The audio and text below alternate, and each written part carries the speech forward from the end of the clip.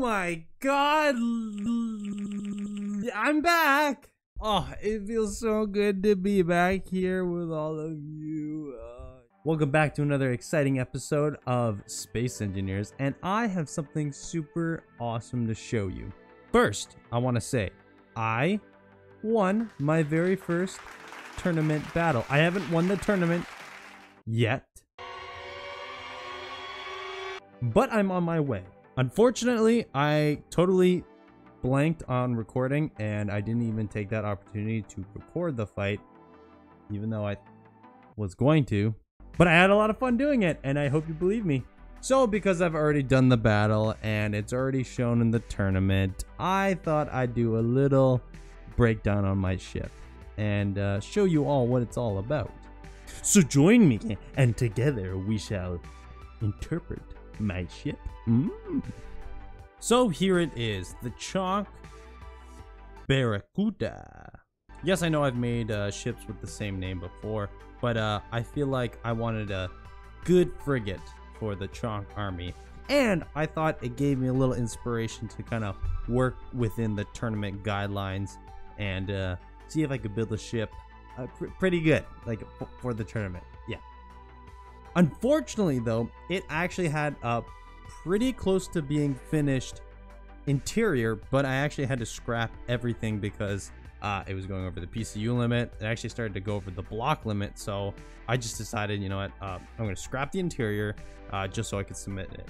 And like in true Chonk fashion, I completely forgot to save it with the good interior. So there's absolutely no interior right now.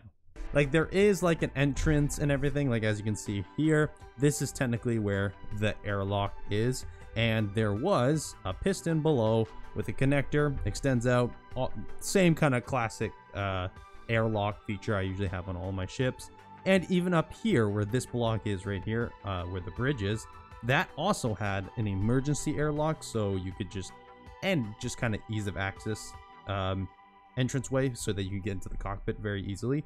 Um, but yeah, here it is. It's really cool. And something that I try that I don't normally do is I made the center section two blocks sit thick and mirrored so it gave it a more blade-like shape. So like on most triangular shaped uh, ships I would make, uh, usually I have just one block on the middle and then uh, one on the top, one on the bottom.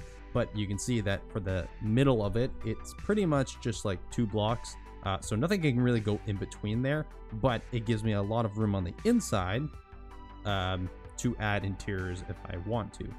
Now, something that the ship has or would have is a hangar right in the bottom down here. But of course, because of the PCU limit, I actually had to take that away and I just added this kind of caved in area. But it was just like a big uh, like hangar space so that ships could fly in and then in here you it was deck again it was decorated it looked really nice um, they could fly in here uh, this column wasn't actually there it was pushed back here um, so it could connect up easier and still have space and then I would have like a landing space here.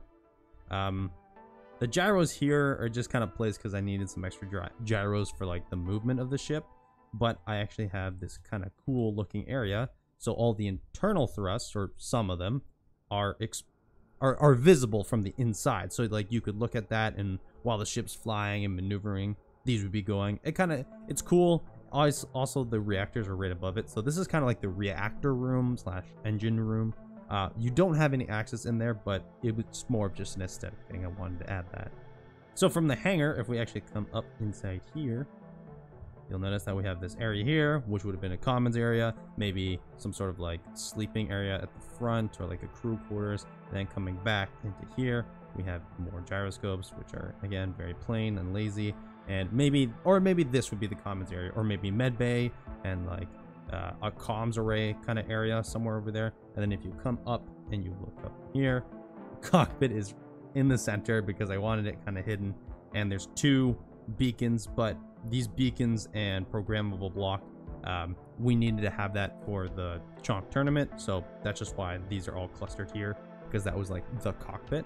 And then continuing up, we would be in the bridge, and this is actually where you would be flying the ship. Uh, again, yeah, it's pretty exposed from the outside. Like, uh, it's it's a bridge. It's right there. Obviously, you can shoot it, destroy the ship, uh, have no controls and everything. But I I really do like that Star Destroyer aesthetic of like having a very, it's right there. The bridge is right there. It's a, a very battleship-esque kind of look. So um, I like that. I kind of like that look. So I wanted to keep that with this Chonk frigate. But let's focus more on the exterior because honestly, the exterior of the ship is what I was really focusing on. Now, it's not like a Star Destroyer copy, so to speak. Maybe you could say it's like reminiscent of the Gladiator or maybe the Victory class Star Destroyer. Um, not incorporating the sizes, obviously, because those are massive.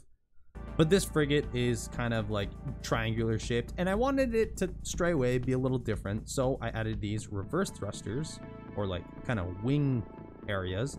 And if you notice that I use these half blocks to make it look like it's just one single block thick sticking out. And again, having these recessed areas adds a lot of detail, makes the ship look more refined, if that makes sense, more chiseled, and I like that. I'm starting to get better with my building, and uh, I'm adding better and better things. You'll notice that I also have like a, an assortment of different colors.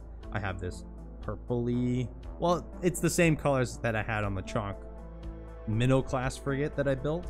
Um, so we've got this blue, very vibrant, very like in your face, whatever. But you know, the Chonk army is destined to set out there for help and, and salvation. So we want everyone to know that they're coming because we're here to help and we're not afraid of anything. so that's very visible all over the ship. Then we have these nice white accent strips here for the ship. Again, just another color to kind of like give uh, depth to the ship, maybe different layers. We also have this like lighter gray section on the top, which is kind of like the gun deck. Uh, it's the same on the bottom. I turn on my light. Yep, we have this light gray area.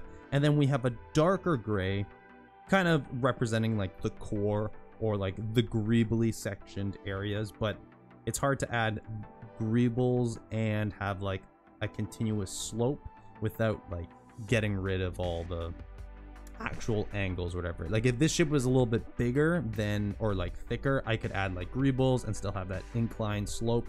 But uh, I'm still very happy with the way it turned out. Now something that I'm super impressed with, which is, is the style of engine that I went with.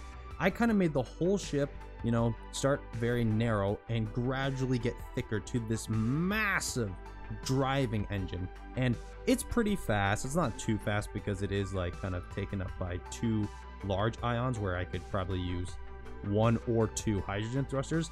But I wanted to mix up the engines because I want this ship to be, you know, uh, able to run and not have to hold, like fully rely on all the hydrogen. Unfortunately, though, I don't have hydrogen and ion pointing in every direction. Um, as you can see, I do have up and downward thrust with both hydrogen and ion, but on the side, all I have for side thrust is hydrogen. So if my hydrogen goes, I can't move left and right. But I can back up, I can drive forward, I can go up, and I can go down. Um, something to keep in mind when I'm actually editing the ship to make it look beautiful. That video will come at some point. But yeah, I don't know if I'm overreacting with it, but I just, I'm so pleased with the way this engine turned out. You know, it's all, it's technically all airtight. Uh, nothing can escape, like, like it's all sealed, like pressurized on the inside. Uh, and it looks really good. I really like these recessed areas. I added this kind of column in the middle just for greeblies, just adding a little bit of design. Maybe I could add more, like the now that they have these like new pipework blocks, I could probably like add something different, like maybe like something like that, right? Like you see all these pipes exposed. Uh, looks very cool. These are really good for greeblies. I'm I'm looking forward to using that more in my ships, just to add a little more detail. Although I do kind of like that uh, cylindrical like kind of look, so I might just keep it like that. Now here's just a comparison of the middle class Corvette and the Chonk Barracuda class frigate, um, just to get some similarities. You know, we have these angled shapes. This is kind of what the Chonk army is going to go after. We're going to try and replicate a lot of those like triangular shapes for their ships. And the color is going to stay the same. We got those purple highlights and everything. Uh, obviously, there's a, in my opinion, there's a lot more detail in this uh, Corvette, which I'm really pleased with. But I'm still super happy with the way that uh, this frigate turned out, and it they both complement each other perfectly, in my opinion. But let me know what you guys think. Let me know in the comments down below. Let me know if you like this like simple little just talking about my ship and the ideas that came to my mind while building and let me know what you think I should build next for the Chonk army. We've got a corvette, we've got a frigate, um, I'm looking to make a fighter, but even some other ideas, maybe like transports, maybe civilian ships, maybe maybe some like exploration ships for the Chonk army. Obviously, as I'm building these ships, I am still working on my Tundari Empire to combat the Chonk army, but I can always use more ideas for other builds. Anyways, the tournament was a blast. It was so much fun. I'm excited to move on to the next bracket. I can't wait. Uh, thank you again, Russell, for making that possible. And if you don't know what I'm talking about, go down to the description down below. It's down there. Go look at it and check out the Chonk server. It's great. I love it. I love all the stuff on it. And yeah, I can't talk about it any more than I already have.